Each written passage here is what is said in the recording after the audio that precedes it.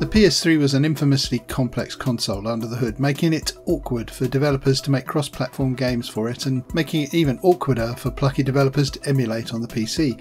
But over the last few years, a miracle of an emulator called RPCS3 has made PS3 emulation on a PC a reality.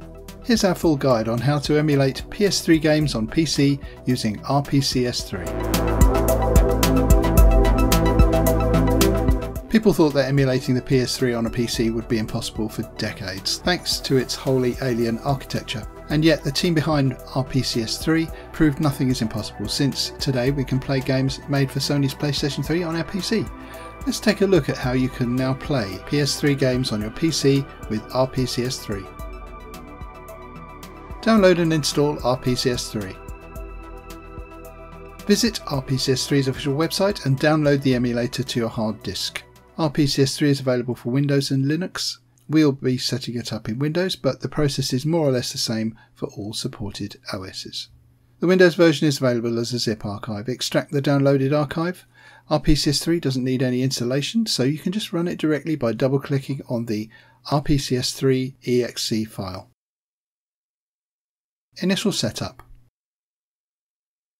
Run the emulator, and if you wish, as it suggests in the pop up window that appears, check out its quick start guide at its official site to learn how to use it. RPCS3 periodically changes information with its official site, like updated compatibility data for the games it supports. If you're behind a firewall, you should grant access to RPCS3 to allow it to update its data without having to do it yourself manually. RPCS3 emulates the PlayStation 3's hardware but not its software. For that part of the equation, you'll have to download the original firmware that you would use on an actual console to update it. To do this, visit the official PlayStation site and click on Help in the top left menu. Choose System Software from the options that appear. The PlayStation site offers firmware for the whole family of consoles in the PlayStation family that are still supported. Choose PS3. Scroll down the PS3 System Software Update page and click on the Agree and Download Now to download the file. Return to RPCS3. Choose File Install Firmware. Select the firmware that you've downloaded from PlayStation's site and wait a while for RPCS3 to install the necessary files. This can take a while. RPCS3 will inform you when the process completes successfully. You'll have to wait a bit longer while the program precompiles modules which will help you load your games faster. More configurations. RPCS3 supports both digitally downloaded games in PKG files and disk-based games in either ISO or uncompressed folder format.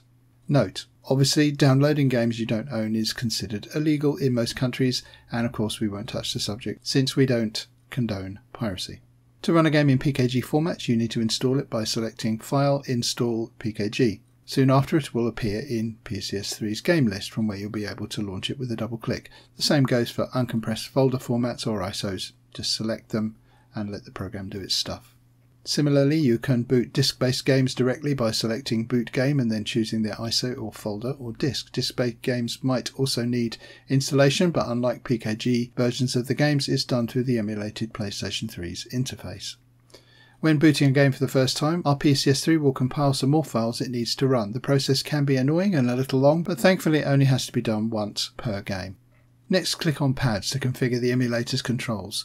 RPCS3 supports keyboard input, but it's better to use an actual PlayStation controller connected to your PC by choosing DualShock 3, DualShock 4, etc. from the Handlers pull down menu on the top left. Xbox and other X input controllers are also supported by choosing the appropriate option from the same menu. With your controller selected, check out if it's detected by moving the two thumbsticks while watching their input live in the two circles at the bottom right of the window.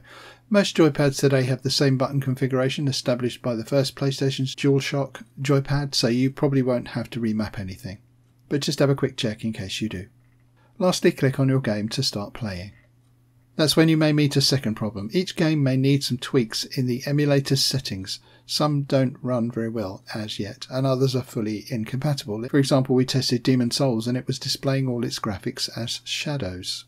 There are two ways to configure the emulator by clicking on config or using the entries in the configuration menu where you set up its options globally for all games. Alternatively, you can use per game configurations by right clicking on an entry in the game list and choosing create custom configuration from the menu that pops up.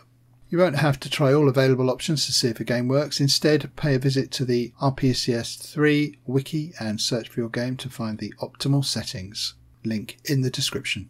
Create a custom configuration for your selected game and tweak the emulator settings as suggested in the RPCS3 Wiki Games entry.